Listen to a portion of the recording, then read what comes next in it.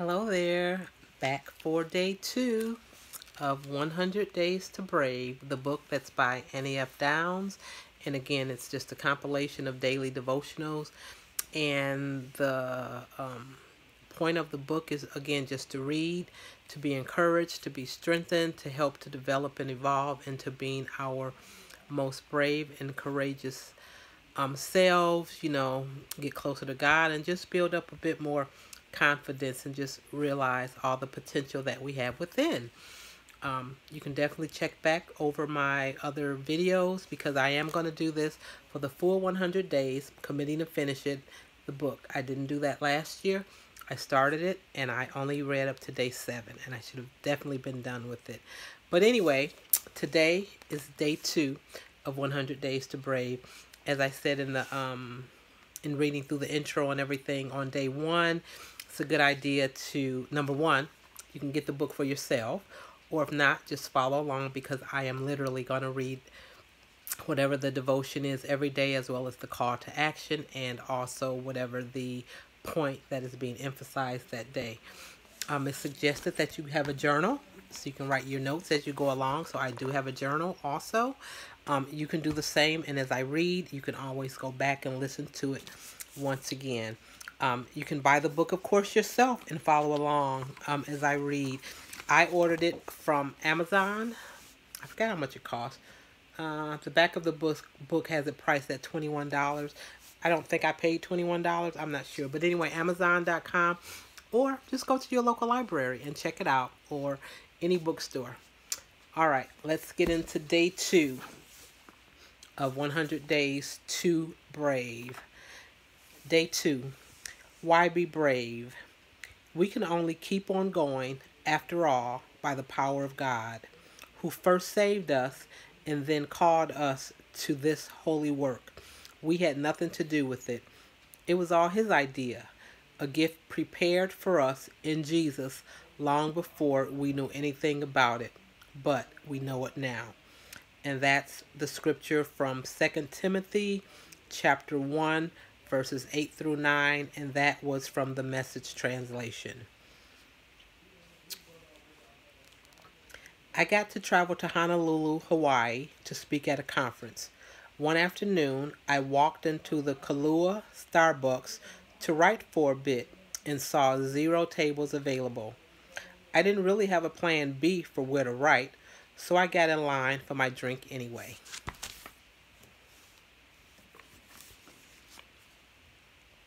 A table opened up, and between a vacationing couple and three tan and adorable surfer dudes.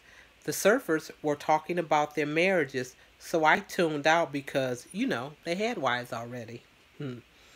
I began to unpack, and just because of proximity, the tables were close, y'all. I couldn't help but check back into their conversation, and I heard them talking about absolute truth and how God is the only thing that is absolute. And suddenly, I realized I was watching two of them share their stories of Jesus with the third. My heart began to race. That conversation takes courage. Sharing your story takes guts. I know Maybe you think I'm being dramatic, but listen. That guy, hearing how Jesus is the answer, his life is forever different and his future is forever altered because those two surfers were brave enough to say the things about Jesus that they knew to be true. Seeing other people be brave makes me want to be brave too. It's a domino effect.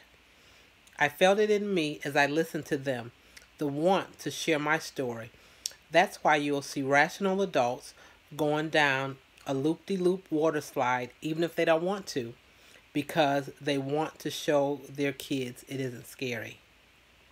That's why we have to start. That's why we have to go first. That's why we have to be brave so that others will be inspired to be brave along with us. We can be brave because we were always meant to be brave. It is scary to be who you are meant to be. It doesn't feel easy because it's not. But we were made for this. Like today's scripture says, we have holy work. Why be brave? because when we're brave enough to share the God stories in our lives, it changes the people around us. It changes us to share them. The call to action today for Be Brave says, and let me flip the camera around so you can see it as well. Our call to action Be brave. Think back on your day. Where can you see God working on your behalf or just showing up for you? Tell somebody. And then the point that they brought out again again was seeing other people be brave makes me want to be brave too. So there we have day two and being brave, thinking back on your day. Where can you see God working on your behalf or just showing up for you and to tell somebody? Gosh, I'll probably have to think about that. Um, again, I've already completed my workday today, and I'm, you know, reading the book later on into the evening. Not totally bedtime yet, but definitely evening. Um,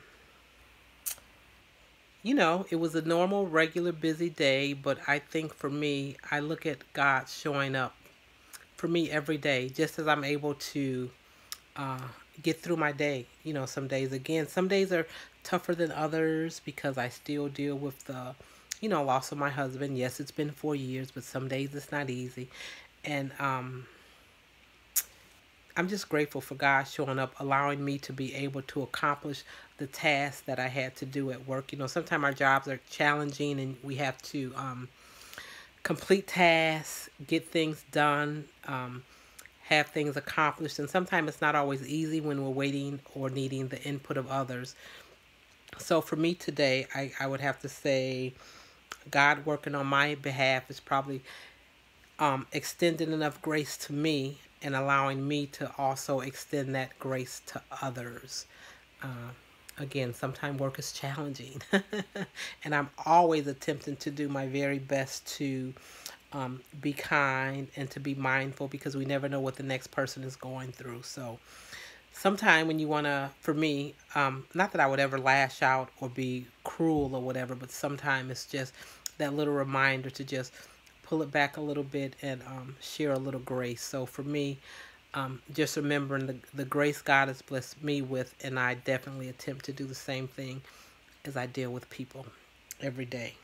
So um, that's what I'm able to tell you guys to today. Again, what, what I believe, how God has shown up for me. And that's something that's not just for today, but for every day. And again, with the subject being of why be brave, because we were meant to be. We were built to be brave. We're, we're tough. God has our back, and we can um, go forward in confidence. And I know that's not always easy.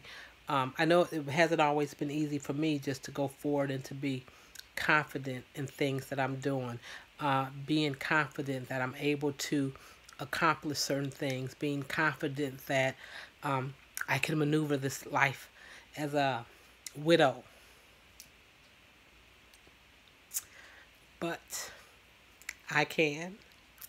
And whatever challenges you may be facing, you can um, accomplish it and have good success and be brave. And even in dealing with the emotions that we feel or feeling inadequate, we just build up on our most holy faith. We continue to lean on God, to trust God that He's going to make a way.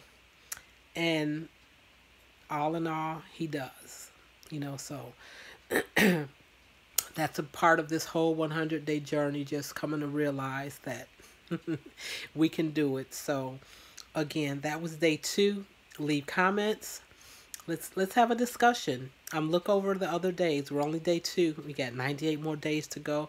I am grateful for you guys um, going on the journey with me. So together, not only will I become my best self, hopefully you will too, because it's not just about me. I want to bring somebody along with me. So I am so very grateful for those of you that watch the video. Leave comments. Let's talk. I will do my best to um, respond to any comments.